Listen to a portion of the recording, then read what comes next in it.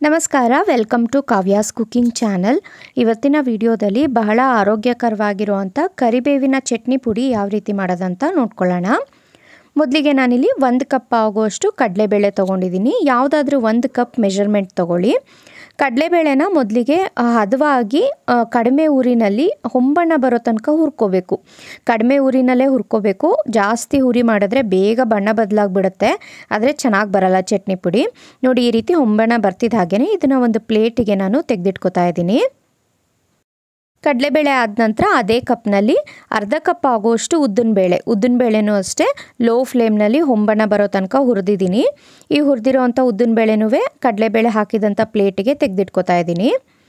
Next ನಿಮಗೆ ಚಟ್ನಿ ಪುಡಿಗೆ ಎಷ್ಟು ಖಾರ ಬೇಕೋ ಅಷ್ಟು ಮೆಣಸಿನ್ಕಾಯನ್ನು ತಗೊಳ್ಳಿ. ನಾನಿಲ್ಲಿ ಒಂದು ಇಪ್ಪತ್ತು ಬ್ಯಾಡಗಿ ಮೆಣಸಿನ್ಕಾಯಿ ತೊಗೊಂಡಿದ್ದೀನಿ ಕಲರ್ ಹಾಗೆ ಟೇಸ್ಟ್ ಎರಡು ಚೆನ್ನಾಗಿ ಬರುತ್ತೆ ಬ್ಯಾಡಗಿ ಮೆಣಸಿನ್ಕಾಯಿ ಹಾಕೋದ್ರಿಂದ.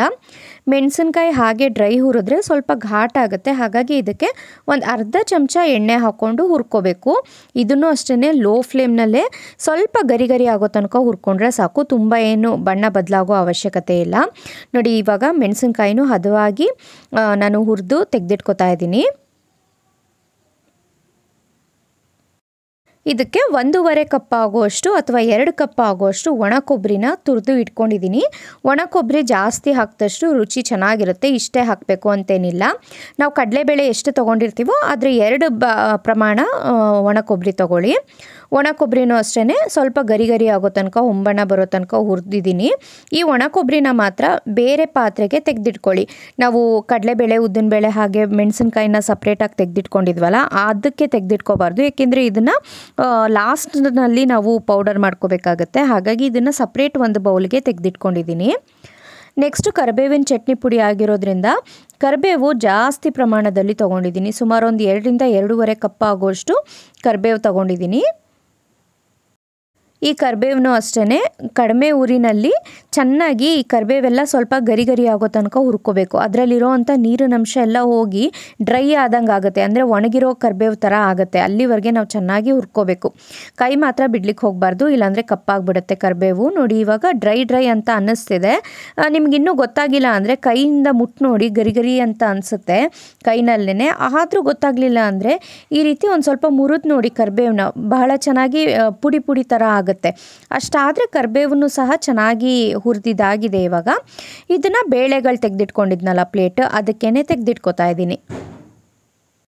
ಕೊನೆಯಲ್ಲಿ ಎರಡು ಟೀ ಚಮಚ ಆಗೋಷ್ಟು ಜೀರಿಗೆ. ಜೀರಿಗೆ ಹಾಕೋದ್ರಿಂದ ಜೀರ್ಣಕ್ಕೆ ಚೆನ್ನಾಗಾಗುತ್ತೆ. ಹಾಗಾಗಿ ಜೀರಿಗೆ ಹಾಕೋಬೇಕು. ಕಡಿಮೆ ಪ್ರಮಾಣದಲ್ಲಿ ಹಾಕಿದ್ರೇ ಸಾಕು ಜೀರಿಗೆ. ಇದನ್ನು ಚೆನ್ನಾಗಿ ಹುರಿದು ತೆಗೆದಿಟ್ಕೊಂಡಿದ್ದೀನಿ. ಇವಿಷ್ಟು ಪದಾರ್ಥನ ಕಂಪ್ಲೀಟಾಗಿ ತಣ್ಣಗಾಗಲಿಕ್ಕೆ ಬಿಡಬೇಕು.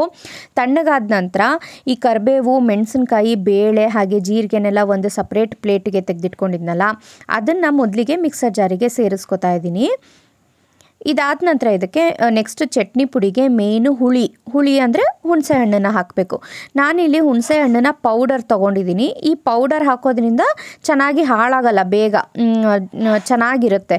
ಪೌಡರ್ ಇಲ್ಲ ಅಂತ ಅಂದರೆ ಒಂದು ನಿಂಬೆಹಣ್ಣು ಗಾತ್ರದಷ್ಟು ಹುಣಸೆ ಹಣ್ಣನ್ನು ಸಹ ನೀವು ಹಾಕೋಬಹುದು. ಚೆನ್ನಾಗಿ ಬರುತ್ತೆ ಅದನ್ನು ಹಾಕೋದ್ರಿಂದ. ಇಲ್ಲಿ ಎರಡು ಸ್ಪೂನ್ ಆಗುವಷ್ಟು ಹುಣಸೆಹಣ್ಣಿನ ಪೌಡರ್ ಸೇರಿಸಿದ್ದೀನಿ. ಹಾಗೆಯೇ ರುಚಿಗೆ ತಕ್ಕಷ್ಟು ಉಪ್ಪು ನೆಕ್ಸ್ಟ್ ಚಟ್ನಿ ಪುಡಿಗೆ ನೆಕ್ಸ್ಟ್ ಇನ್ನೊಂದು ಮೇನ್ ಪದಾರ್ಥ ಅಂದರೆ ಇಂಗು. ಇಂಗುನೂ ಅಷ್ಟೇ ಒಂದು ಅರ್ಧ ಚಮಚ ಆಗುವಷ್ಟು ಹಾಕಿದ್ದೀನಿ. ಘಮ ಟೇಸ್ಟ್ ಎರಡು ಚೆನ್ನಾಗಿರುತ್ತೆ ಹಿಂಗ್ ಇಂಗನ್ನ ಹಾಕೋದ್ರಿಂದ. ಇದಾದ ನಂತರ ಇದಕ್ಕೆ ಎರಡು ಸ್ಪೂನ್ ಆಗುವಷ್ಟು ಬೆಲ್ಲ ಸೇರಿಸ್ತಾ ಇದ್ದೀನಿ. ಯಾವುದೇ ಚಟ್ನಿ ಪುಡಿಗಾದ್ರೂ ಹುಳಿ, ಉಪ್ಪು, ಖಾರ, ಸಿಹಿ ಎಲ್ಲ ಹದವಾಗಿರಬೇಕು. ಆವಾಗಷ್ಟೇ ಚಟ್ನಿ ಪುಡಿ ರುಚಿಯಾಗಿರೋದು. ಮೊದಲಿಗೆ ಇವಿಷ್ಟನೂ ತರಿತರಿಯಾಗಿ ರುಬ್ಬಿ ಬರಬೇಕು. ನೋಡಿ ಈ ರೀತಿ ತರಿತರಿಯಾಗಿ ಪೌಡರ್ ಮಾಡಿ ಇಟ್ಕೊಂಡಿದ್ದೀನಿ ಮೊದಲೇ ನಾವು ಕೊಬ್ಬರಿನ ಸೇರಿಸ್ಬಿಟ್ರೆ ಮೆಣಸಿನ್ಕಾಯಿ ಎಲ್ಲ ಚೆನ್ನಾಗಿ ಪೌಡರ್ ಆಗಲ್ಲ. ಕೊಬ್ಬರಿ ಬೇಗ ಎಣ್ಣೆ ಜಿಡ್ ಬಿಟ್ಬಿಡುತ್ತೆ ಹಾಗಾಗಿ.